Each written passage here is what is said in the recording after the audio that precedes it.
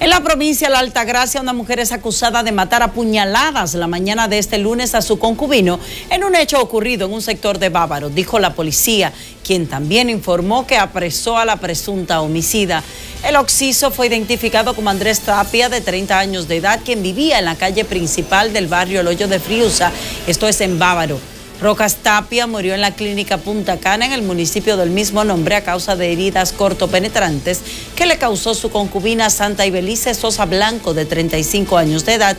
quien a la vez fue detenida y será entregada a las autoridades judiciales.